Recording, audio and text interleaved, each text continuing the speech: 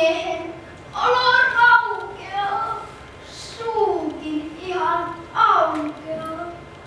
Huh, huh, haijakkaa. Miestä alkaa haukottaa ja hän tyystin unohtaa panna käden suunsa eteen.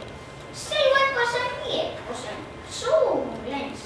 Varmaan koskeen pesän asui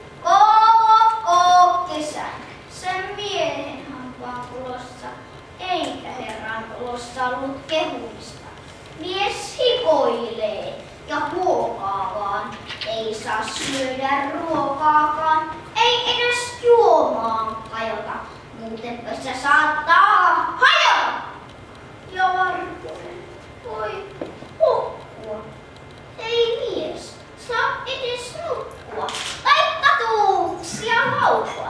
Sen pitää suutaan aukua, kun poika silleen hyviä lintukantaa jyviä. Se lentää puusta puuhun ja sitten palaa suuhun. On viisi vuotta siitä nyt, ois varpusparvi liitänyt. Sen miehen hampaan kolosta ja tilanteesta nolosta. Näin niin, sen, mutta yhä päätään muistellen, vies tuota aikaa muistellen.